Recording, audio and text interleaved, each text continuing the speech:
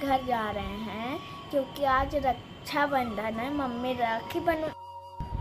Friend, मुझे कौन कौन राखी बांधेगा मैं बताता हूँ।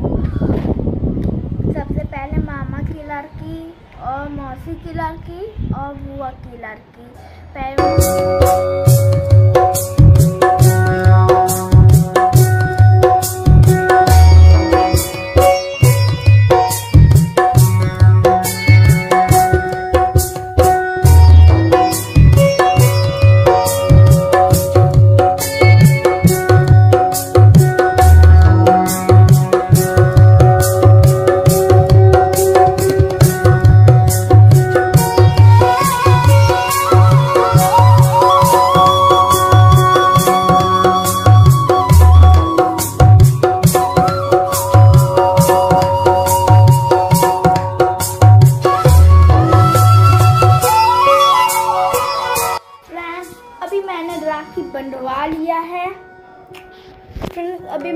राखी बंधवा लिया है फ्रेंड्स सुंदर है ना? अभी रात को अभी मेरे मामा मामा की लड़की और मौसी की लड़की बांधेंगे, इसलिए मेरी बुआ की लड़की ने बाँध दिया है। देख सकते हैं। तो फ्रेंड्स आज मुझे टाइम नहीं मिला, मैं अभी जाके कैमरा उठा रही नहीं तो आयुष्मान ही उठाया था। वही आज ब्लॉगिंग कर रहा था, थोड़ा बहुत। तो अभी मैं आ चुकी हूँ मायके। रक्षाबंधन, आज हम लोग 11 तारीख को ही मना रहे हैं। शाम का टाइम है मतलब हम लोग आ गए लेकिन मुहूर्त है 9 बजे से तो इसलिए हम लोग उसी का वेट कर रहे हैं मुहूर्त का। तो यहाँ पे सभी बच्चे आपको हाय बोल रहे हैं, और सब लोग रेडी भी हो रहे हैं रक्षाबंधन के लिए। फिर उसके बाद फिर चलेंगे सब लोग फ़ोटो वगैरह, ये सब खींचेंगे। फिर उसके बाद फिर टाइम हो जाएगा। मुहूर्त है साढ़े आठ से सवा नौ बजे तक का, ग्यारह तारीख को। फिर उसके बाद, बारह तारीख को शायद सुबह सात बजे तक ही है। तो इसलिए हम लोग अभी, शाम को ही आए हुए हैं। और यहाँ पे दीदी हैं, बुआ है, मम्मी है, भाभी हैं, सब लोग बैठे हैं, सब लोग फ़ोटो वगैरह खिंचा रहे हैं। फिर उसके बाद रक्षाबंधन का टाइम हो जाएगा।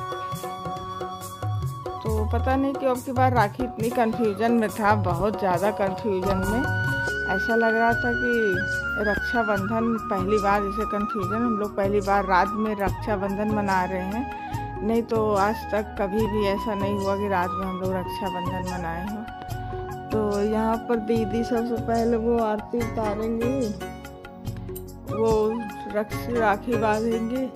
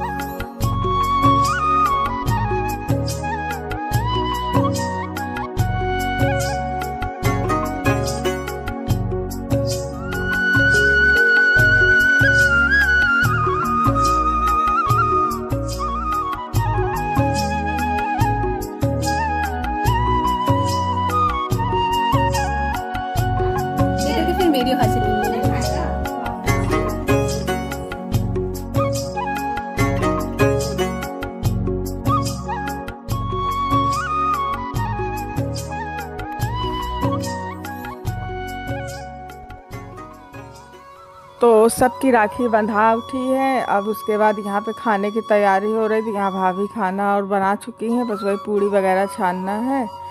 और यहाँ खाने में देखिए, छोला बना है, पुलाव बना है, दम आलू बना है और पूड़ियाँ अब छनने वाली हैं।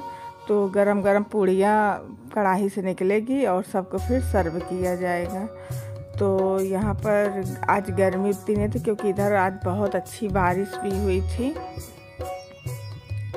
तो इसीलिए क्या कहते हैं, आज किचन में उतनी गर्मी नहीं थी और यह है हमारा हाँ भगवान जी का मंदिर, जो कि इससे बहुत ही पुरानी यादें जुड़ी हैं। इस मंदिर से भाई बचपन बीता है, यही मंदिर पूजा करे सब चीज़। तो इससे भी आज तक भी मेरा बहुत बड़ा लगाव है इस मंदिर से। तो यहाँ पे तन्नू आ गई है पूड़ी बेलेगी फिर उसके बाद भाभी उधर सबको खाना देंगी। इधर मैं भी थोड़ा लो सैलड वाला सोचा, लो थोड़ा काट लूँ। तो सब लोग बस काम में अपने अपने लगे हुए फिर उसके बाद सब लोग एक साथ बैठकर फिर खाना खाया जाएगा। और बच्चे लोगों का भी खाना दिया जा रहा है। पहले उन लोगों को खिला दिया जाएगा, फिर उसके बाद फिर हम सब लेडीज़ बैठकर फिर आज खाना एक साथ बैठकर खाएँगे। काफ़ी टाइम पे। नहीं तो फिर हमेशा दिन में जब रक्षाबंधन रहता था तो बस हम भाई बनाते रहते हम लोग खाते रहे फिर उसके बाद हम लोग का जाने का टाइम हो जाता लेकिन अब की बार अब आज हम लोग रात में रुकेंगे तो इसलिए हम लोग आराम से फिर खाना वगैरह खा पी के तब फिर बातचीत वगैरह होगी। और यहाँ पे मेरी मम्मा और बुआ लोग अपना पर्सनल बात कर रही हैं और दीदी मेरी आराम कर रही हैं। और यहाँ पे आयुष्मान खाने की तैयारी में बस लगा हुआ है, बस थोड़े कपड़े वगैरह चेंज कर ले। और यहाँ पे खाना, ये देखिए, आज हम लोग पत्तल में ही खाएँगे क्योंकि आज हम लोग बर्तन में नहीं खाएँगे, आज हम लोग पत्तल में खाना खाएँगे, इसलिए आज हम लोग, क्या कहते हैं, यहाँ पे खाना देखिए लगा दिया है, सब लोग बैठकर खा लिए हैं। तो ये था आज का मेरा ब्लॉग, फ्रेंड। तो अगर आपको मेरा ब्लॉग अच्छा लगे तो प्लीज़ मेरे चैनल को सब्सक्राइब, लाइक और शेयर करिए और कमेंट बताइएगा कि कि आप लोगों ने रक्षाबंधन ग्यारह तारीख को मनाया था, या बारह तारीख को?